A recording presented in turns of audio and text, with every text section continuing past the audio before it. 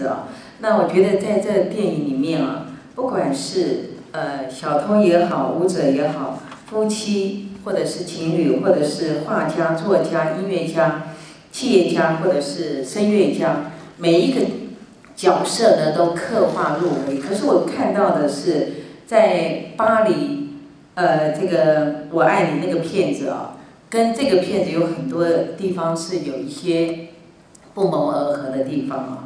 那呃，纽约它熙来人往、熙来攘往的这些人群啊，我觉得在刚开始的时候，我们看到那个步调是非常非常的快。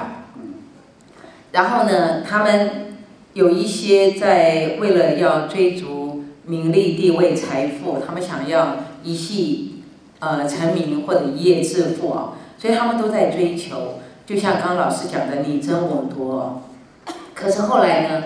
他们发现呢，他们有很多的欲求是不满的，他们的渴望，他们的孤独，他们的寂寞。那我觉得他们其实，在那样熙来攘往的这些人群当中，他们都在追逐爱。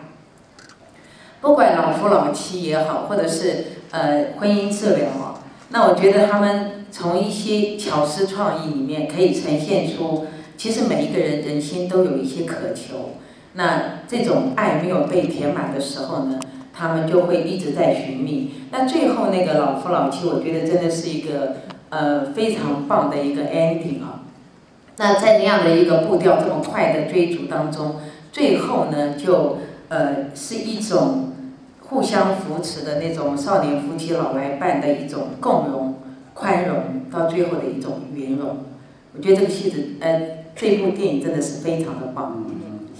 谢谢，很好。呃，各位想想啊，那就是说电影上呈现。